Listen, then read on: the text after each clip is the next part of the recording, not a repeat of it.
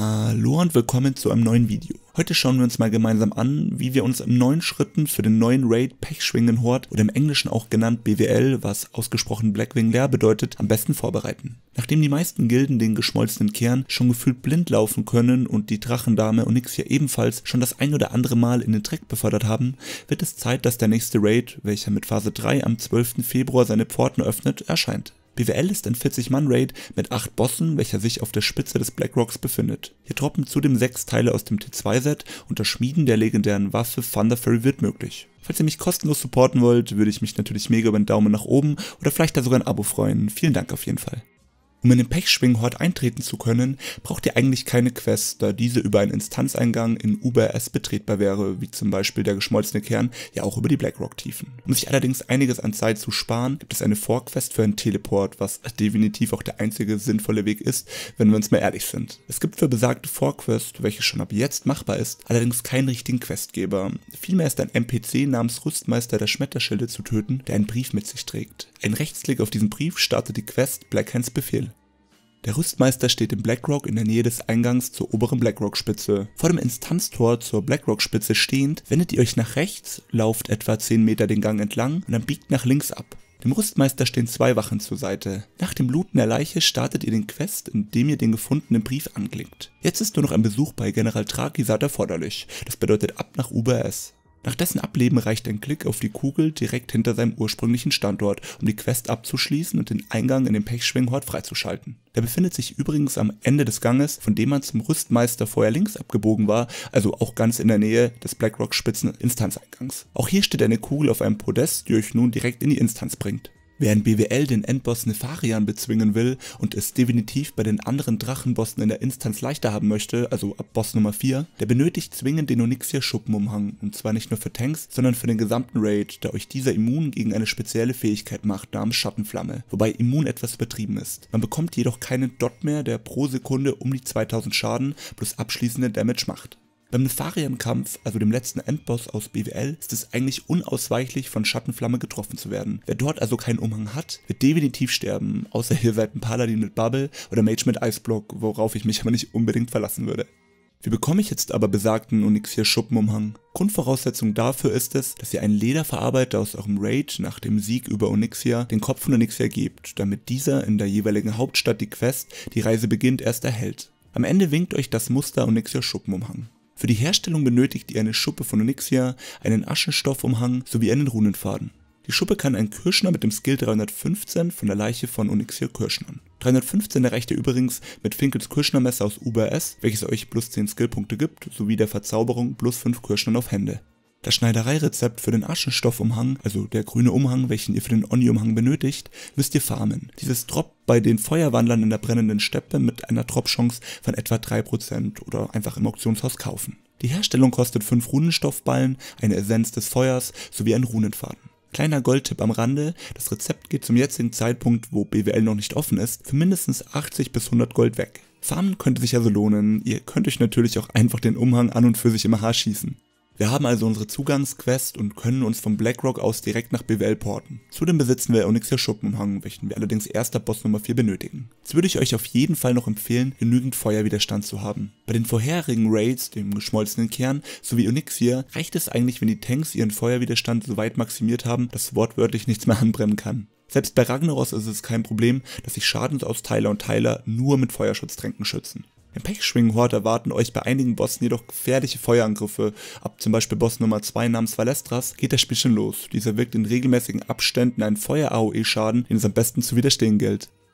Richtwerte sind für Tanks auf jeden Fall so viel wie geht. Für Nahkämpferklassen um die 150 bis 200 und für alle anderen wäre es schön, wenn zumindest die 100er Marke angekratzt wird. Nachdem ihr für BWL sowieso schon MC und Onyxia auf Farmstatus haben solltet, werdet ihr schon das ein oder andere T1-Detail haben, was neben guten Stats zugleich einiges an Feuerwiderstand bringt. Auch andere Nicht-Set-Teile aus den Raids sind spitze, wie zum Beispiel die Brandwachenschultern aus der Kiste von Majodomus, dem vorletzten Boss im Molten Core. Dazu kommt natürlich noch die Halskette für die Onipri sowie den in Punkt 2 genannten Schuppenumhang, welche jedermann haben sollte. Vergesst zudem nicht, dass die Thorium-Bruderschaft ab Phase 3 neue Rezepte für Gegenstände zu verkaufen hat, welche ordentlich Feuerresi haben. Die richtige Rufstufe natürlich vorausgesetzt. Dazu kommen noch zu guter Letzt die Verzauberung von der Agentum-Dämmerung oder das Buchband der Abhärtung für Kopf- und Hosenteile. Beim zweiten Bosskampf gegen Valestras, welcher zum roten Drachenschwamm gehört und eigentlich gegen Nefarian kämpft, jedoch von diesem verdorben wurde, spielt das Ressourcenmanagement rund um Wut, Mana oder Energie für Tanks, Heiler und Damage-Dealer überhaupt keine Rolle. Ganz im Gegenteil müsst ihr die sich ständig in rasender Geschwindigkeit regenerierenden Ressourcen wieder so rausballern, ohne dass ihr euren Tanks die Akku klaut. Ich meine zum Beispiel ein Schurke, der konstant meucheln kann, zieht gut und gerne mal die Bedrohung auf sich.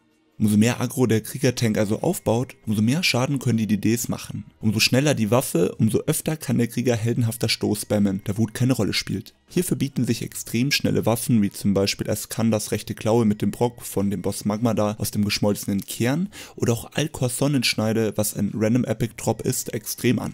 Als blaue Alternative wäre Finkels Kirschner Messer auch definitiv eine gute Wahl.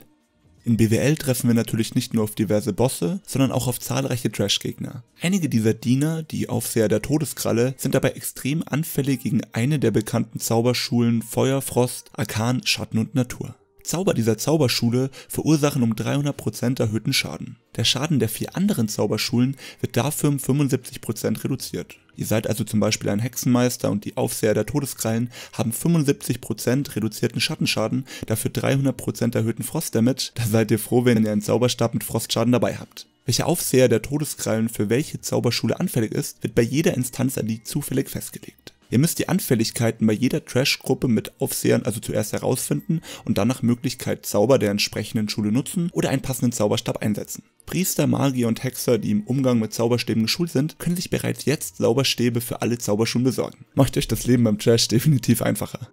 Der letzte Boss aus BWL oder auch Nefarian genannt, welcher zugleich der Sohn von Todesschwinge und der Bruder von Onyxia ist, lässt in einer Zwischenphase des Kampfes untote Skelette auf einen Schlag auferstehen und schickt diese auf euren Raid. Eure Aufgabe ist es jetzt, diese so schnell es geht zu sammeln und wegzubomben. Das Item Heiliges Wasser von Stratholm erleichtert euch diese Aufgabe ungemein. Je mehr Raid-Mitglieder so ein Wasser auf die Untoten ballern, desto besser. Besucht also Stratholm und farmt Heiliges Wasser, ihr werdet es definitiv gut gebrauchen können wo wir auch gerade eben beim Nefarian-Kampf sind. Ab Phase 2 des Kampfes setzt Nefarian sogenannte Klassenrufe ein. Hexer lassen zum Beispiel Infernal spawnen, Druiden werden automatisch in die Katzengestalt verwandelt und können nicht mehr heilen, Magier verwandeln Raid-Mitglieder in Schafe und so weiter. Den Jäger trifft es hier allerdings besonders, da der Hunter-Klassenruf die Fernkampfwaffe des Jägers zerbrechen lässt. Das bedeutet, ihr steht anschließend ohne Bogen bzw. Armbrust oder Schusswaffe da, da diese Null Haltbarkeit mehr hat. Dadurch habt ihr eigentlich nur eine Option. Sobald der Boss den Jägerruf ankündigt, legt ihr eure Waffe in eure Tasche.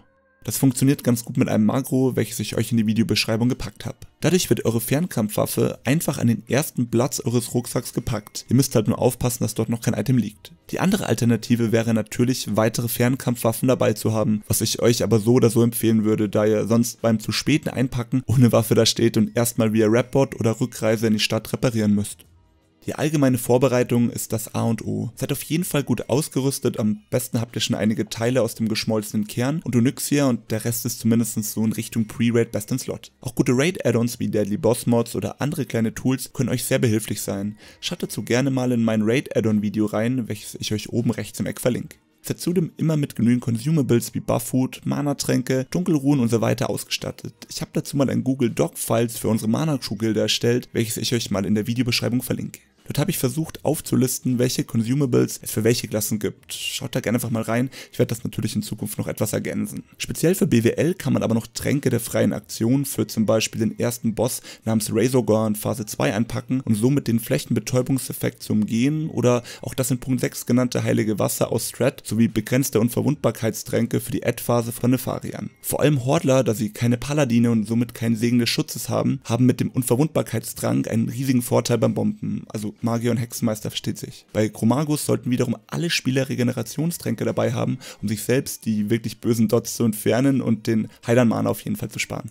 Schaut euch unbedingt mal Guides zu den Bossen an, sodass ihr wisst, was euch bei den jeweiligen Encountern erwartet. Wenn ihr der englischen Sprache mächtig sein solltet, empfehle ich euch auf jeden Fall das YouTube-Video von Kelras, welcher in Bild, Schrift und Ton jeden Boss erläutert. Zudem verlinke ich euch eine Seite, bei der jeder Boss separat von den Fähigkeiten ab bis hin zu was welche Klasse genau tun muss erklärt wird. Leider ebenfalls in Englisch. Ich habe mich allerdings mit meinem werten YouTube-Kollegen Mosen unterhalten, dieser wird, wie auch schon für den geschmolzenen Kern, Bossguide-Videos auf Deutsch machen. Falls ihr diesen also noch nicht abonniert habt, schaut dort auf jeden Fall mal vorbei. Ich verlinke euch seinen Kanal unten in der Videobeschreibung. Vor allem die ersten beiden Bosse, Razorgon Valestras, solltet ihr euch direkt mal genauer anschauen. Auch der Unterdrückungsraum, welcher vor dem dritten Boss kommt und für mich das definitiv nervigste in der ganzen Instanz ist, sollte erstmal, ich nenne es mal, verstanden werden. Dort müsst ihr als Raid-Gruppe durch, Mobs bomben, Schurken müssen die Fallen, die euch slowen und eure Zaubern Angriffszeit erhöhen, deaktivieren und so weiter. Die kommenden drei Drachenbosse sind dann wieder relativ einfach zum Verstehen, bis wir mit Chromagus, dem vorletzten Boss, wohl einer der härtesten Hausnummern in ganz BWL haben. Für diesen müsst ihr sogar Stundenglas Sand, ein Item, welches vom Trash droppt, looten, um eure Main-Tanks, Hunter und Heiler von einem Stun-Debuff zu befreien. Ich will allerdings nicht mehr ins Detail gehen, da es sonst einfach für dieses Video brutal den Rahmen sprengen würde. Schaut euch einfach mal die Guides an und informiert euch über die Bosse. Natürlich wird von mir auch noch das ein oder andere speziellere Video zu BWL erscheinen.